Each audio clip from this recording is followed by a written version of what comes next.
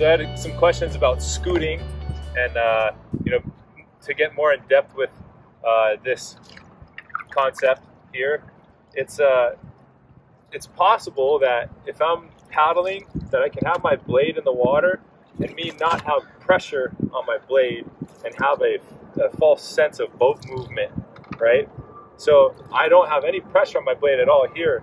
And so when I'm paddling, it may seem like I'm moving the boat, but I'm really not. I got nothing going on here. So what we want to do is make sure that we're taking the stroke. I'm actually taking the stroke here, moving the boat. So the scooting is me having this motion of this body, this seemingly uh, fake sense of boat movement, right? And it happens even if you do have something going on on your blade, and then and then you just end up having this total disconnection to your boat. It appears as if we're moving the boat, but we want to just eliminate any excessive movements of high. Just make sure that that pressure on the blade is going to where I want it to go. So when I take my stroke, I don't want at any point some form of scooting going on, and you can see excessive movement, fast movement. So when I paddle, I just want connection.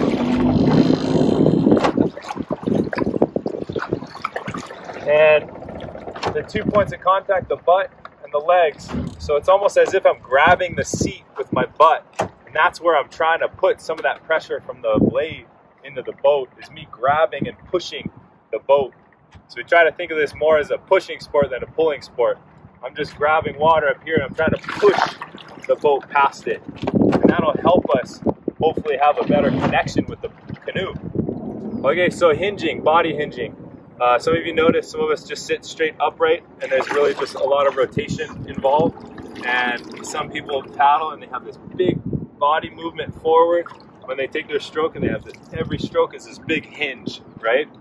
So if we think of, if we try to dissect this motion, um, this hinge, yes, it gives us more a longer stroke. So let's see the difference of how much longer. So right here, my blade's fully buried here. My body's basically almost folded over my legs, right? So my, my blade's buried there. If I don't hinge and I just sit upright and I have my blade in the water at my full maximum reach here, um, maybe that far of a difference shorter. So a couple inches of pea-side difference. So, but what happens is if I do end up hinging so far, right, my position of my body, see my arms and my blade is way above me here. And for me to end up trying to grab something and, and do anything like that up here is far uh, less powerful than me here having my body above and behind this blade that I can really implement a lot of power and force on it here than I could grabbing something up here trying to do the same. So we're in a stronger uh, mechanical structural position here. So the further and further I go with my body, I essentially essentially getting less and less strong. It becomes weaker and weaker.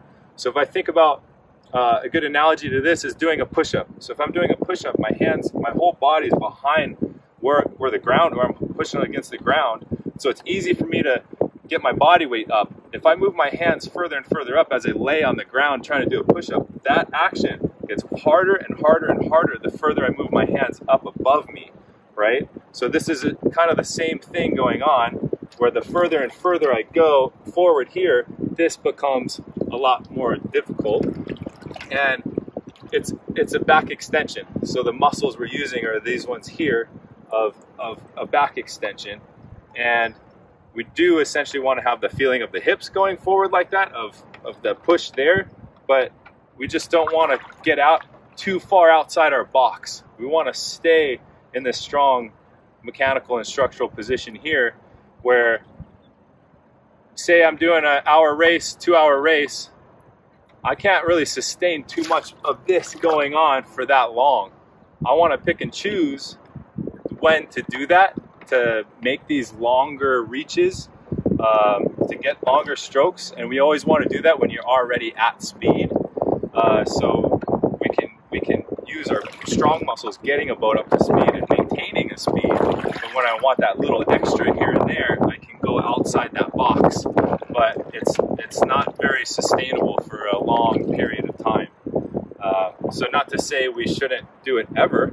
We should practice it, and everyone has a different style of paddling, and everyone should, you know, kind of how everyone does have their own mannerisms and way of paddling, and and if you do it all the time, you'll make it work.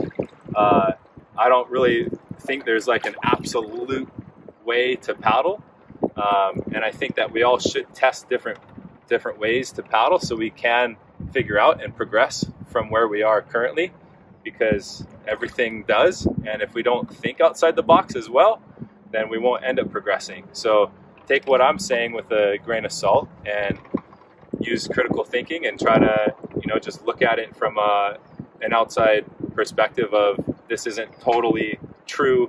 Maybe there is a better way and then we can end up progressing from here.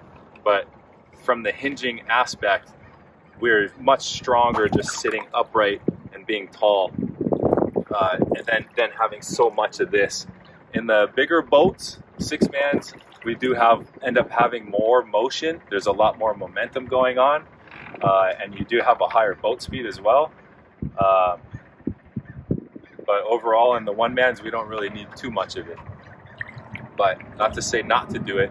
When you're in the ocean it's a different story. Many variables going on. So usually after you've caught a wave and it's a fast moving wave you're reaching for the trough go long right?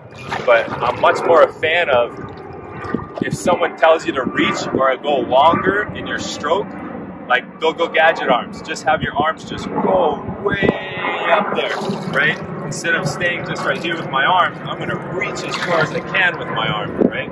So more so like that. So i can tame and control my body and stay above and behind my paddle right